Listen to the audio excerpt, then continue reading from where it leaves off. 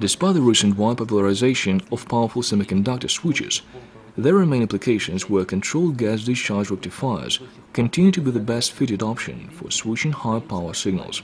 Moreover, new gas discharge devices are still being invented, and one of them is a gas triode called Tacitron. Today's Tacitron is a three-electrode ion device with a heater cathode and a blend of cesium and barium vapors.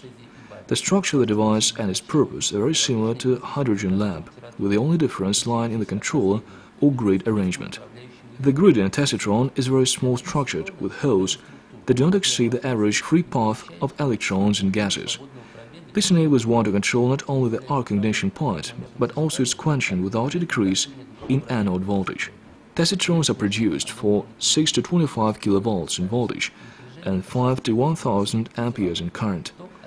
Just like all other gas discharge devices with heater cathodes, the Tacitron has low internal resistance and consequently a high anode voltage efficiency, up to 95-98%.